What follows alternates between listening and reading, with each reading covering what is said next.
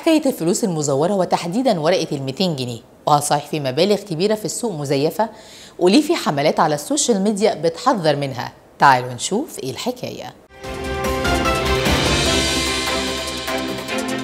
بانكير نبض البنوك. في الأيام الأخيرة ظهرت تحذيرات على فيسبوك وزادت في الكام ساعة اللي عدت عن انتشار عملات مزيفة في السوق المصري.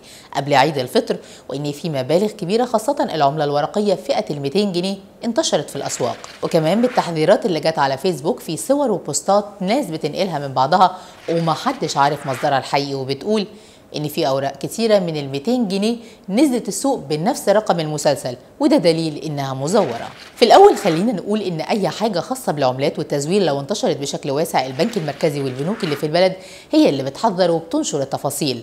تاني حاجة الكلام عن انتشار ورقة ب 200 جنيه مزورة قبل العيد وقصة الرقم المسلسل الموحد على العملة المزيفة ده كلام مش منطقي وإلا كان طلع البنك المركزي وحذر منها. خلينا نقول كمان إن مش معنى كلامنا إننا ما ناخدش بالنا من الفلوس اللي في إيدينا خاصة لما تكون مبالغ كبيرة ومن فئة عملات كبيرة.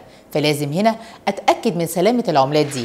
والغرض مش كل الكلام في ال social media نمشي وراه لكن في نفس الوقت الحرص واجب في التعامل مع النقد وخاصة لو كان بعيد عن البنوك واللي عندها ماكينات لكشف العملات المزيفة. تحياتي لحضراتكم وإلى اللقاء. بانكير نبض البنوك.